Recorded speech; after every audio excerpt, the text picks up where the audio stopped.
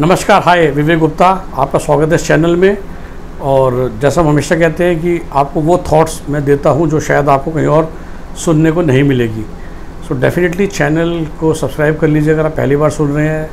Video को like का button दबा दीजिए और शेयर कीजिए मैक्सिमम लोगों के साथ, ताकि उनको भी समझ में आए।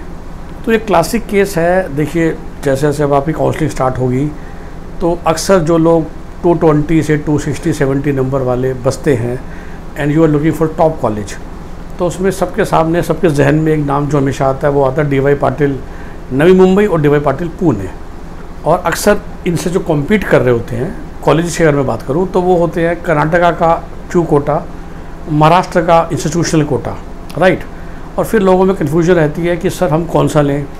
डी वाई पाटिल में भी सब कुछ अच्छा है फैसिलिटी सारी अच्छी हैं एक्सेट्रा एक्सेट्रा एक्सेट्रा देखिए, मैं हमेशा कहता हूँ एक मैंने पुराना वीडियो बनाया था, आप सुन सकते हैं कि how do you define a good medical college उसके शायद सात या आठ फैक्टर बैठते हैं। सो डी वाई पाटिल चाहे नवी मुंबई हो, चाहे पुणे हो, वो सात फैक्टर में परफेक्टली फिट होता है। इंफ्रा अच्छा है है पेशेंट फ्लो है है बिकॉज़ दोनों बहुत अच्छे अपने अपने एरिया के हॉस्पिटल्स भी हैं। हॉस्पिटल अच्छे हैं हैं। फैकल्टी क्लास में आती है आती है। क्लास लेती है लेती है। तो सब कुछ अच्छा है। लोकेशंस एक्चुअली बहुत अच्छी हैं दोनों कॉलेज की, पुणे और Navi Mumbai. Which are the big cities और बच्चों को बड़ा क्रेज़ रहता है। So no what is the single negative factor जहाँ पर ये कॉलेज थोड़े डाउन हो जाते हैं और इसी बजट में ऑफ़ कोर्स आपको दूसरी मैनेजमेंट करनी पड़ती है जब हम महाराष्ट्र के ही स्टेट कॉलेज का आईक्यू कोटा लें या हम कर्नाटका के स्टेट कॉलेज का कोटा लें या थोड़ी सी पेशेंस रखें बिकॉज़ 250 मार्क्स पे तो आपको राजस्थान की भी मैनेजमेंट सीट्स मिल जाती हैं, जिसका बजट तो फिर काफ़ी कम जाता है वहाँ तो आपका काम एक पच्चीस से तीस में हो रहा है। पर अभी मैं बात कर रहा हूँ एप्पल टू एप्पल कि पौने दो खर्च करना डी वाई पाटिल नवी मुंबई पुणे में वर्सेस कर्नाटका के आईक्यू कोटा लेना या महाराष्ट्र का आईक्यू कोटा लेना, या for that matter Madhya Pradesh की एनआरआई सीट लेना स्पेशली आर डी गार्डी और औरबिंदो टाइप के कॉलेजेस में, जो कि टॉप क्लास कॉलेज हैं मध्य प्रदेश के। ओके तो सर, वो जो फैक्टर है ना, और वो माने ना माने, वो होता है पीयर ग्रुप कि बाकी बच्चे आपके साथ कौन से हैं। ठीक है, अब मेरा वीडियो अगर वो बच्चे खुद सुन रहे हैं, जो पूरी मेहनत करके ही 240 नंबर लाए हैं सो शायद वो चाहेंगे भी वो उन्हीं बच्चों के साथ पढ़ना जो बाकी भी 240 हैं।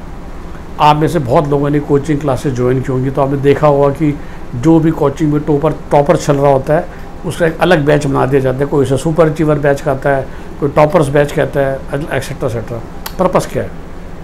तो सब कुछ जब सेम है तो इंग्लिश में बड़ी कहावत होती है man is known by the company that you keep अब कर्नाटका के स्टेट कोटाई कॉलेज हैं like Vydehi Kempegowda B G S Dayanand Sagar, उसमें क्या है? आपके अलावा जो 20 परसेंट बच्चे हैं, जो एनआरआई और ओ कोटा लेकर आने वाले हैं, बाकी सारे बच्चे तो 540 प्लस नीट वाले हैं।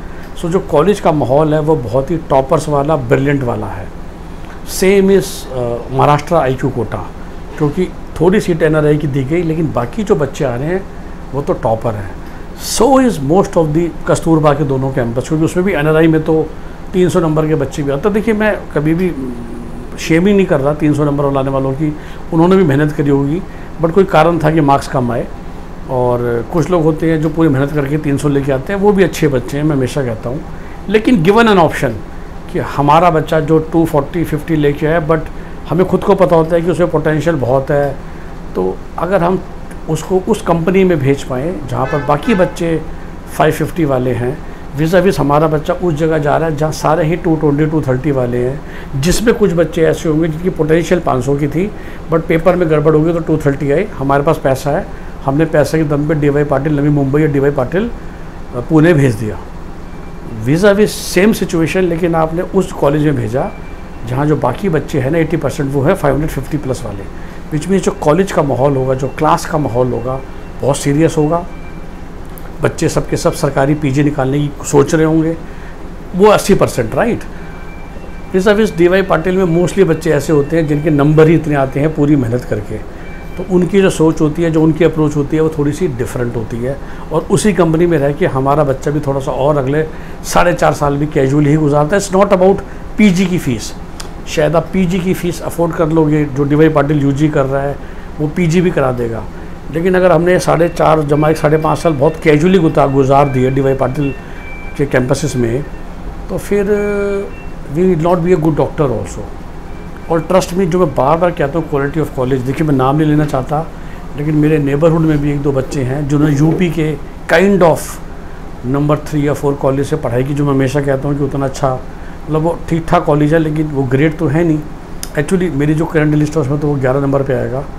अब उनमें ना कॉन्फिडेंस ही नहीं आ रहा। उस बच्चे की, देखिए एम बी ख़त्म हो गई इंटर्नशिप ख़त्म हो गई है। आप सबको पता था कि थोड़े दिनों पहले मेरा एक्सीडेंट हो गया था, और एक इंजेक्शन जब मैं डिस्चार्ज होकर आ गया तो कुछ इंजेक्शन्स थे जो लगने थे घर पे। और वो इंजेक्शन भी नस में नहीं लगने थे। वो उस टाइप का इंजेक्शन होता है कि बॉडी में कहीं पर भी लगा दो। वो मेरा नेबर है, मैंने उसको बुलाया कि आके भाई इंजेक्शन तू लगा दे। ही एक्चुअली रिफ्यूज़ अपोलोजेटिकली कि भैया, वो मुझे चाचा जी बोलता है कि चाचा, वो कॉन्फिडेंस नहीं है मेरे में इंजेक्शन लगाने का और मैं नस ढूँढने की बात भी नहीं कर रहा। मैं बात कर रहा हूँ किसी भी बॉडी पार्ट पे लगाने की जो मैं भूल जाता हूँ उस टाइप का जो इंजेक्शन होता है। वो मुझे लगना था। आ, अब ज़रा सोचिए। मतलब बिजली स्वेलिंग हटाने के लिए कुछ तो थे पाँच दिन का कोर्स था। तो ज़रा आप ये सोचिए कि अगर वो कॉन्फिडेंस नहीं आएगा क्योंकि बच्चा क्लासेस में ही नहीं जा रहा है माहौल ऐसा बन जाता है ना कि you are actually in top two cities Bombay and Pune तो आप क्लब्स में जा रहे हो पब्स में जा रहे हो शाम को हर रोज़ या रिवीजन कर रहे हो। और ज़्यादा बच्चे अगर उस लेवल के आगे तो हम क्या कर रहे हैं? So all those things makes a different और उसके हिसाब से आप सोच समझ के फ़ैसला कीजिए कि सिर्फ़ डिग्री वाला डॉक्टर बनाना है। एमडी भी कई ऐसे होते हैं जो खाली कागज़ पे होते हैं। लेकिन भाई ये जैसा मैं कहता हूँ, और मेरे पास कई बच्चे आते हैं, लोग आते हैं एज ए करियर काउंसलिंग कि इस डिग्री के बाद काम भी तो करना है ना। अगर वो कॉन्फिडेंस ही नहीं आएगा पेशेंट को देख के ये बताने का कि तेरे को क्या बीमारी है और ये दवाई खा के तो ठीक हो जाएगा।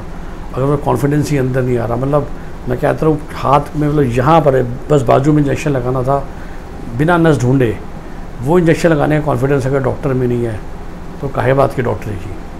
तो सोच समझ के अपने मेडिकल कॉलेज का चुनाव कीजिए, और मुझे कोई वो नहीं है, लेकिन मैंने बोला, जो आठ को कई लोगों से पूछा तो ये आठवां फैक्टर जो होता है ना, कि बाकी बच्चे तो कम से कम 80 परसेंटाइल वाले हैं ना विज़ा विज़ ये दो कॉलेज जिसमें सारे बच्चे ही 240 की रेंज वाले आ रहे हैं। तो ज़रा कंपनी थोड़ी सी कैजुअल या लेस फोकस्ड बच्चों की हो जाती है। कैसा लगा आपको वीडियो ज़रूर लाइक कमेंट कीजिए। हमसे काउंसलिंग करवाना चाहते हैं ताकि आप अच्छे क्वालिटी कॉलेज में पहुँचिए। अपने बजट और नंबर के हिसाब से ऑप्टीमल क्वालिटी कॉलेज में पहुँचे। You know nine six four three three six two three two zero आप अभी तक जान चुके हैं, जो भी मेरा वीडियो सुनते हैं। तो एक बार भी हमसे कॉल में बात कर लेते हैं। We never call back even those people जो अक्सर लोग समय लेते हैं कि सर ठीक है, चार पाँच दिन सोच के फिर हम आपका पूरा पैकेज लेंगे, हम उनसे भी फॉलोअप नहीं लेते हैं। तो नए लीड से तो हम बात करते नहीं हैं, बिना चार्ज लिए। तो मैं हमेशा आपको कहता हूँ, आप सबके लिए ये मैं वीडियोस बनाता हूँ तो आपको हेल्प हो। बट हमसे काम कराना है तो it is chargeable from day one we take money because we do good job and we don't tell force you to go to colleges which are not great और गुड ओके सो कैसा लगा फिर भी video comment में ज़रूर लिखिएगा। जैसा मैंने कहा लाइक कीजिए सब्सक्राइब कीजिए चैनल को ताकि आपको ऐसी ऐसी अच्छी सटीक जानकारियाँ फ्री ऑफ़ कॉस्ट मिलती रहें। हाँ हमारी एग्जैक्ट हेल्प चाहिए। You have to pay as money have a nice day bye nine six four three three six two three two zero first phone call के ढाई हज़ार रुपये रहते हैं। जूम कॉल या मिलने के पाँच हज़ार। सीधी सी बात है जी टाइम का फ़र्क हो जाता है। फ़ोन अक्सर पंद्रह मिनट में ख़त्म हो जाता है। जूम कॉल्स और फेस टू फेस अक्सर एक घंटा चलती हैं। इसलिए चार्जेस वैसे रखे हैं। फिर तीस, पचास, पचहत्तर हज़ार और डेढ़ लाख का हमारा पैकेज है। डेढ़ लाख का यही पैकेज है आपको मैनेजमेंट एन सीट में कोऑर्डिनेशन में हेल्प करना। तीस हज़ार रुपये is for government seat and your home state या one state private two two four states fifty thousand more than four state और more than four counsellings to n number of counselling is पचहत्तर हज़ार। Have a nice day बाबा यही हमारा package है। इस package या का वीडियो भी इस डिस्क्रिप्शन में मैंने डाल दिया। Take care have a nice day